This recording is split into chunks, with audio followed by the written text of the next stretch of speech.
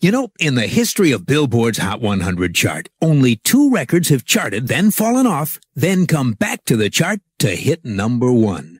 And both records did it with the help of television shows, General Hospital and Family Ties. Details coming up. Casey's Coast to Coast. American Top 40. I'm Casey Kasem, counting them down on American Top 40. Now, let's check out something that's happened only twice in chart history. A record coming onto the chart, not hitting number one and falling off, then coming back onto the chart a second time and hitting number one. The only two records in history that have done this came back with the help of television shows. First, there's the record that was rescued by the hit comedy show Family Ties. When the record originally charted in 1981, it only hit number 79, then disappeared.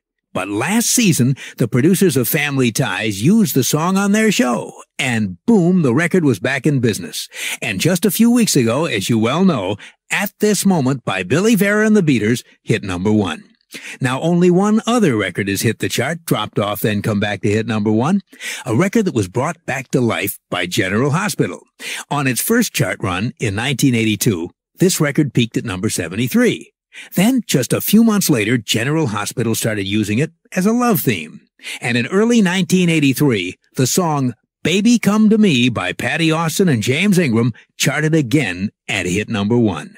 So those are the only two records in history that have hit twice, not doing too well the first time, but hitting number one the second time.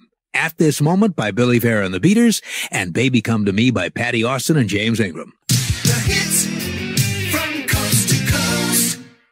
Biggest hit. Ten years ago this week, one of the biggest hits in the USA was a song that flopped its first time around, then came back as a number one hit thanks to the TV sitcom Family Ties.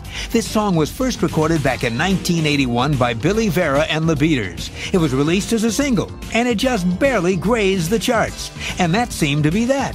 Then, five years later, the producers of the hit Michael J. Fox sitcom called Family Ties began using the song as mood music for romantic moments. Fans asked radio stations to play it. It was re-released, and it didn't just become a hit, it became a number one smash on both the pop and the adult contemporary charts. Ten years ago this week, that song was one of the biggest hits in the USA. Here's Billy Vera and the Beaters with At This Moment. What did you think?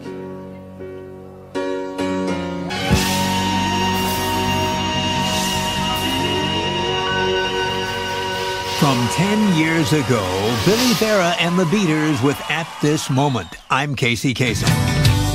Casey's Countdown.